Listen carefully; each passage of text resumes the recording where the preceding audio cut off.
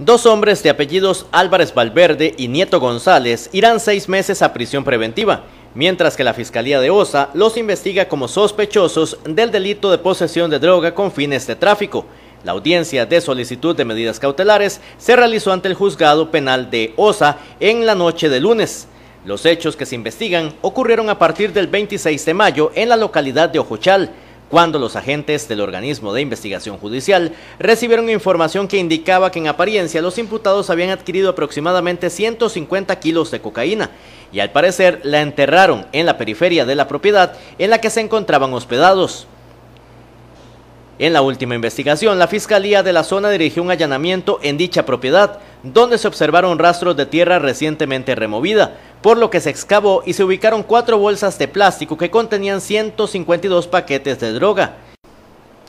De inmediato se ordenó la detención de ambos sujetos, quienes fueron indagados por el Ministerio Público y luego puestos a las órdenes del juzgado penal. Durante el operativo se logró decomisar dos carros, municiones y también teléfonos, así como otras evidencias importantes para el desarrollo de esta investigación.